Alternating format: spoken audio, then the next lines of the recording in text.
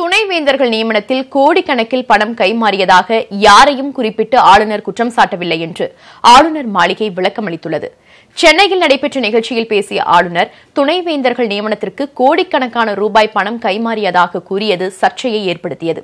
இந்நிலையில் ஆளுநர் மாளிகை நேற்று வெளியிட்ட செய்திக்குறிப்பில் துணைவேந்தர்கள் நியமனத்திற்காக கோடிக்கணக்கில் பணம் கொடுக்கப்பட்டதாக சில கல்வியாளர்கள் அளித்த தகவலை குறிப்பிட்டுதான் ஆளுநர் பேசியதாக தெரிவிக்கப்பட்டுள்ளது. மேலும் பன்வாரிலால் புரோஹித் ஆளுநராக பொறுப்பேற்ற போது பல்வேறு துணைவேந்தர்கள் மீது குற்றம் சாட்டப்பட்டு விசாரணை நடைபெற்று வந்ததை மக்கள் அறிவார்கள் என்றும் அறிக்கையில் கூறப்பட்டுள்ளது.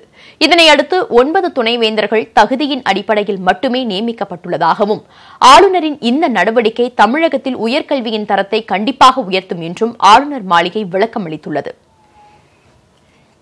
இந்நிலையில் திமுக தலைவர் மு ஸ்டாலின் வெளியிட்டுள்ள அறிக்கையில் துணைவேந்தர் நியமன ஊழல் பற்றி ஏற்கனவே கூறிய கருத்தை தமிழக முதலமைச்சருடனான சந்திப்பிற்கு பிறகு ஆளுநர் மறுப்பது ஏன் என அவர் கேள்வி எழுப்பியுள்ளார். துணைவேந்தர் நியமனத்திற்கு லஞ்சம் பெற்றவர்களை காப்பாற்றும் முயற்சியை கைவிட்டு அதிமுக அரசு மீதான ஊழல் புகார்கள் குறித்து லஞ்ச ஊழல் தடுப்புத்துறை மூலம் நடவடிக்கை எடுக்க உத்தரவிட வேண்டும் என ஆளுநரை அவர் வலியுறுத்தியுள்ளார்.